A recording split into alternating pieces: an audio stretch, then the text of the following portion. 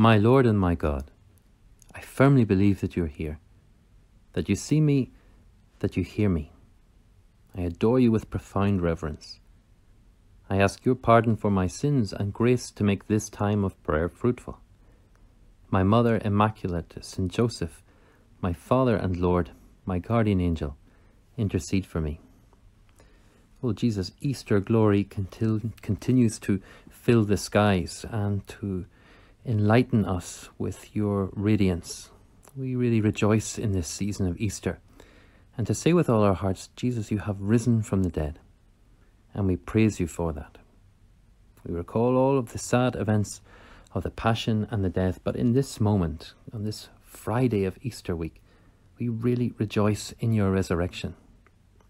And we have a moment to, to bask in the glory of your resurrection with the disciples in today's Gospel. It's a beautiful reading from the Gospel of John that we have today. It's the second time, Jesus, that you meet with the disciples after the resurrection, though the tone is slightly different. Here we find you together with them on the, the shores of the Sea of Tiberias up in the north, far from Jerusalem, where the story begins with the disciples, in a sense. The place where they were first called. And there on the sea that they knew very well, they see you, Jesus, but they don't know you. They don't recognize you after the resurrection. We listen to these words of the gospel because there are so many little nuggets in this gospel that can sustain our prayer today and to help us to really reflect on what you're doing in our life too in this Easter season. Jesus showed himself again to the disciples. It was by the Sea of Tiberias, and it happened like this. Simon Peter, Thomas called the twin, Nathanael from Cana in Galilee, the sons of Zebedee, and two more of his disciples were together. Simon Peter said, I'm going fishing. They replied, We'll come with you. They went out again and got out into the boat, but caught nothing that night. Now, the first thing that really strikes me whenever I read these words, Jesus, is that Peter decides to go out fishing again. Now, that might just seem like a, a natural thing to do. He was, after all, a fisherman.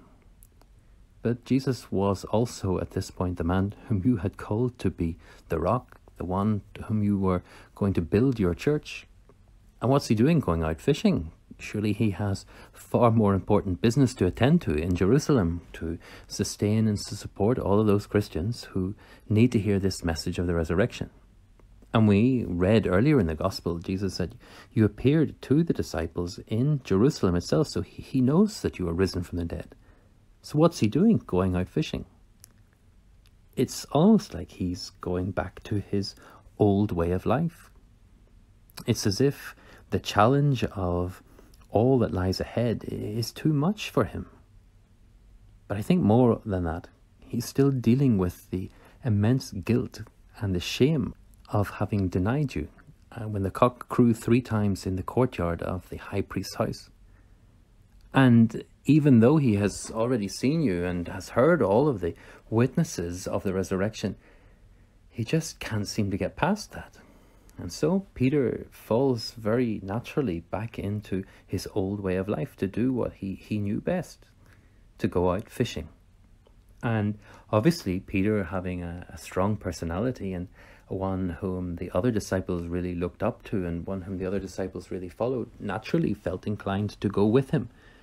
But we see how quickly they kind of slink back into their old way of life, too. I'm going with you. They just want to get back out onto the water, it seems, and to sail away from all of the concrete problems that have, have occurred, to face up to the rejection in that moment, and to now face the challenge of, of building up the church and to become witnesses to the resurrection. It was light by now. There stood Jesus on the shore. The disciples did not realize that it was Jesus. Jesus called out, Have you caught anything, friends? When they answered no, he said, Throw the net out to the starboard, and you will find something. So they dropped the net, and there were so many fish that they could not haul it in. The disciple Jesus loved said to Peter, It is the Lord. At these words, It is the Lord. Simon Peter, who had practically nothing on, wrapped his cloak round him and jumped into the water. The other disciple came on in the boat, towing the net and the fish they were only about a hundred yards from land. Now we see how, in a sense, when they go out fishing, they catch nothing because it's kind of fruitless. They are, in a sense, just wandering around. They have really lost a sense of their purpose. And we know, Jesus, from what you say to them on the shore, that they were sort of finding their own way through life at this moment. And they had taken their eyes off you. And since all our life's projects are going to be like that, they're going to be completely rudderless.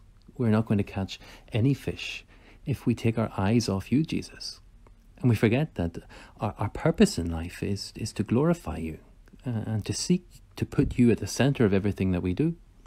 If we feel tempted to slink back into, I don't know, an old way of life of which is covered in shame or a, a way of life that is not open to, to you, Jesus, then we're never going to catch anything.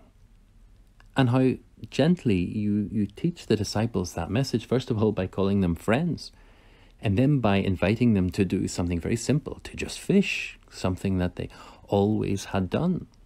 But by asking them to follow your commands, you give them a kind of a new direction, not just to, to fall into their own way of old way of life, but to do what you ask of them. And so they can, in a sense, raise up that ordinary everyday task that they had done thousands of times before, but in a new way by following your command.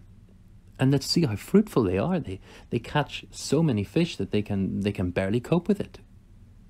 There's there's the answer, Jesus, is that we need to reorientate our lives at times according to the, the glory of the resurrection and to see that, well, my future plans have you at their center whenever I'm trying to discern what you want of me, Jesus, then that is ultimately when I will catch the most amount of fish. As soon as they came ashore, they saw that there was some bread there and a charcoal fire with fish cooking on it. Jesus said, Bring some of the fish you have just caught. Simon Peter went aboard and dragged the net to the shore. Big, full of fish, 153 of them. And in spite of there being so many, the net was not broken. Jesus said to them, Come and have breakfast. None of the disciples was bold enough to ask, Who are you? They knew quite well it was the Lord. Jesus then stepped forward, took the bread, and gave it to them, and the same with the fish.